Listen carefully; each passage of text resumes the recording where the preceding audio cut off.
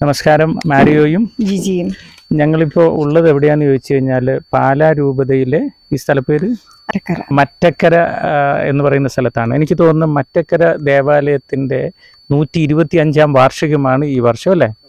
അതുമായി ബന്ധപ്പെട്ട് ഈ മറ്റക്കരയിൽ ഏറ്റവും ഭവനമില്ലാത്ത രണ്ട് കുടുംബങ്ങൾക്കാണ് ഈ ഇടവക ഭവനം വെച്ചു കൊടുക്കുന്നത്. അതിൽ ഒരു കുടുംബത്തിന് ഇടവക തന്നെ ചെയ്യുന്നു പറഞ്ഞു. ഒരു കുടുംബത്തിന് നമ്മളോട് സഹായിക്കാമോ എന്ന് ചോദിച്ചതാണ്. ചോദിച്ചത് വികാരിയച്ഛനെ ചോദിച്ച് വിളിച്ചുകൊണ്ടിരുന്നു. അപ്പൊ അങ്ങനെ വിളിച്ച് അച്ഛൻ ഇങ്ങനെ ചോദിച്ചപ്പോ പെട്ടെന്ന് നമുക്ക് തള്ളിക്കളയാൻ പറ്റിയില്ല. അങ്ങനെ നമ്മൾ രണ്ടുപേരും അച്ഛനെ കാണാൻ ഇവിടെ എത്തുകയായിരുന്നു വന്ന് കണ്ടത്. അത് കഴിഞ്ഞ് എനിക്കൊന്ന് രണ്ട് മാസം മുമ്പാണ് നമ്മൾ തറക്കല്ലിട്ടത്. വീട് അപ്പം ഇന്നിപ്പോൾ ഇതിലൊരു യാത്ര ഉണ്ടായിരുന്നപ്പം തീർച്ചയായും ഈ സൈറ്റ് ഒന്ന് വന്ന് കാണണം. എങ്ങനെയാണ് വീടിന്റെ പണി പുരോഗമിക്കുന്നതെന്ന് അറിയാൻ വേണ്ടി വന്നത് അതിന്റെ ഒരു കാരണമുണ്ട്. ഇത് ജനുവരിയിലാണ് താക്കോൽദാനം കൊടുക്കേണ്ടത് ജനുവരി താക്കോൽദാനം കൊടുക്കണം. മാത്രമല്ല അവിടെ വാർഷികവും കൂടിയാണ്.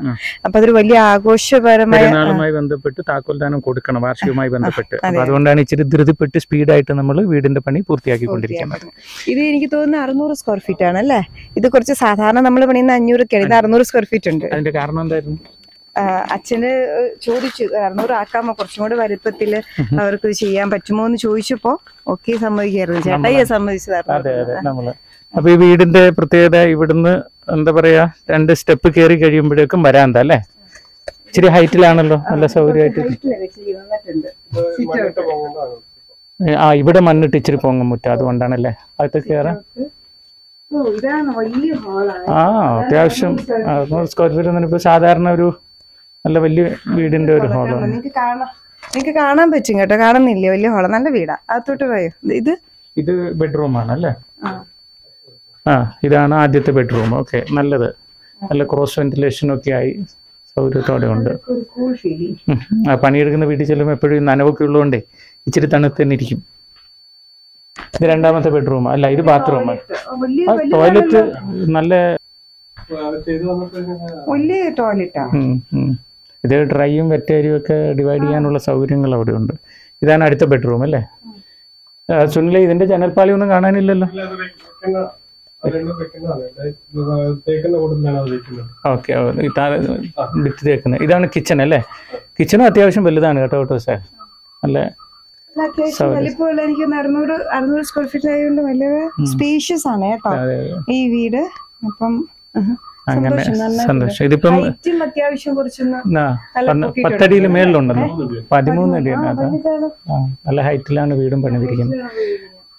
കൂട്ടുകാരെ അപ്പം എല്ലാ വീഡിയോയിലും പറയുന്നത് തന്നെ വീണ്ടും ഒന്ന് ആവർത്തിച്ച് പറയുകയാണ്. നമുക്ക് ഓരോ ആഴ്ചയിൽ ഒരു തറക്കല്ലിടലും ഒരു താക്കോൽദാനവും എന്നോണമാണ് ഇപ്പോൾ ഫിലോക്കാലിയുടെ ഈ ഹൗസിംഗ് പ്രോജക്റ്റ് കൂട് പോയിക്കൊണ്ടിരിക്കുന്നത്. കൂട്ടത്തിൽ എല്ലാ ആഴ്ചയിലും നോണം പാവപ്പെട്ട ദരിദ്രരായ രോഗികൾക്ക് നിത്യരോഗികൾക്ക് മരുന്ന് കൂട്ടത്തിൽ പഠന സഹായം വസ്ത്രം നൽകുന്നത് അതുപോലെ തന്നെ ഭക്ഷണ സാധനങ്ങൾ വാങ്ങി കൊടുക്കുന്നത് സൗജന്യമായ കൗൺസിലിംഗ് സൗജന്യമായ മാട്രിമോണിയൽ ഇതൊക്കെ നടക്കുന്നത്. എന്താ പറയുക നമ്മുടെ വസ്ത്രങ്ങളുടെ കാര്യം പറയുന്നായിരുന്നു ആ അതായത് നമ്മുടെ ചാലക്കുടി ഓഫീസിൽ നമുക്ക് വസ്ത്രങ്ങളുണ്ട്. അതായത് ആ വസ്ത്രത്തിന് ബുദ്ധിമുട്ടുന്ന ആര് വന്നു കഴിഞ്ഞാലും അതിൽ ഏറ്റവും നല്ല വസ്ത്രങ്ങൾ സെലക്ട് ചെയ്തിട്ട് അവർക്ക് കൊണ്ടുപോകാനുള്ള ഒരു സംവിധാനം. ഈ വലിയ കുറച്ച് ആൾക്കാർ ഒരു ദിവസം അല്ലെങ്കിൽ കുറച്ച് ദിവസങ്ങൾക്ക് മാത്രം ഇട്ടിട്ട് അവർ വീട്ടിലിങ്ങനെ സൂക്ഷിച്ചു വെച്ചിരിക്കുന്ന നല്ല നല്ല വസ്ത്രങ്ങളുണ്ട്. അത് അവർ കുറേ പേര് ഞങ്ങളെ ഏൽപ്പിച്ചിട്ടുണ്ട്.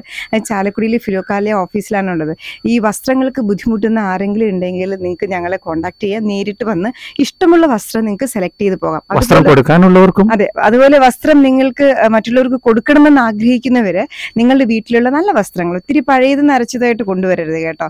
അത് നമുക്ക് വിഷമല്ലേ കൊടുക്കുമ്പോൾ അത്യാവശ്യം നല്ല വസ്ത്രങ്ങൾ ഉണ്ടെങ്കിൽ ഫിലോക്കാലിയയുടെ ചാലക്കുടി ഓഫീസിൽ ഏൽപ്പിച്ചു കഴിഞ്ഞാൽ ഒരുപാട് സന്തോഷമായിരിക്കും.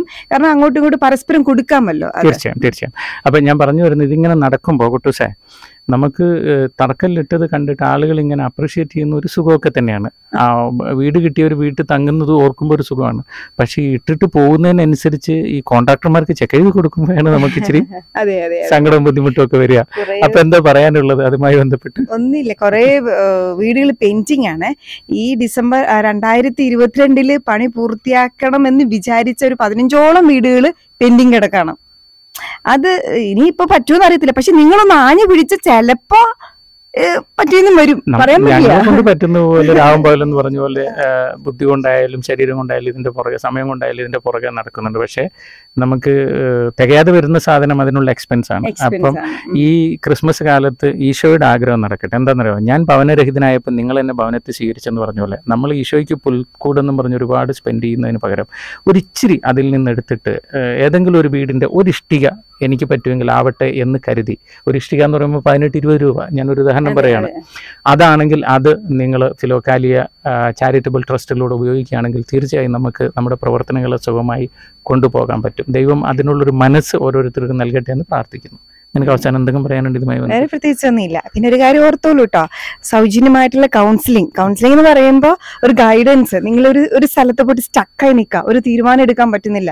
ചെയ്യുന്നതെല്ലാം പരാജയം. അപ്പൊ എന്ത് ചെയ്യണമെന്ന് അറിയത്തില്ല. അല്ലെങ്കിൽ വീട്ടിൽ സമാധാനം ഇല്ല മക്കൾ ഭർത്താവ് ഭാര്യ ഒക്കെ കൊണ്ട്. അപ്പൊ ഒരു ഒരു ആരെങ്കിലും ഒരു അഡ്വൈസ് ചെയ്തെങ്കിൽ എന്റെ മനസ്സൊന്ന് കൂളാക്കിയിരുന്നെങ്കിൽ ഞാൻ എന്ത് ചെയ്യണമെന്ന് പറഞ്ഞു തരണമെന്ന് ഉപദേശിച്ചിരുന്നെങ്കിൽ എന്ന് ആഗ്രഹിക്കുന്ന ആരെങ്കിലും ഉണ്ടെങ്കിൽ തീർച്ചയായും ഫിലോക്കാലി ഫൗണ്ടേഷൻ ഓർക്കുക. സൗജന്യമായിട്ടാണ്. നിങ്ങൾക്ക് പത്ത് മിനിറ്റ് ഒന്നും അല്ല കേട്ടോ. ഒരു മണിക്കൂർ മണിക്കൂർ. ഒരു ദിവസം മുഴുവൻ ഞങ്ങൾ റെഡി അതായത് അർത്ഥം. നമുക്ക് സമയത്തിന് വിലയില്ലാത്തതുകൊണ്ടല്ല. മനുഷ്യജീവൻ അതിനേക്കാളും വിലയുള്ളത് തീർച്ചയായിട്ടും തീർച്ചയായിട്ടും. ഒരു മണിക്കൂർ രണ്ട് മണിക്കൂർ നമുക്ക് വെറുതെ ഇരിക്കുകയാണോ എന്ന് ചിന്തിച്ചില്ല. ഞങ്ങൾക്ക് അവിടെ കൗൺസിലേഴ്സ് ഉണ്ട്.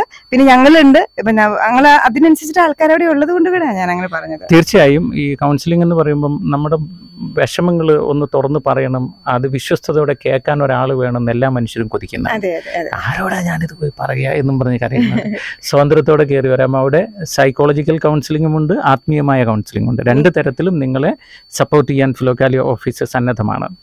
നിങ്ങൾക്ക് വേണമെങ്കിൽ ചേട്ടനും ചേച്ചിയുണ്ട് അല്ലെങ്കിൽ അമ്മയും അച്ഛനായിട്ടുണ്ട് അല്ലേ?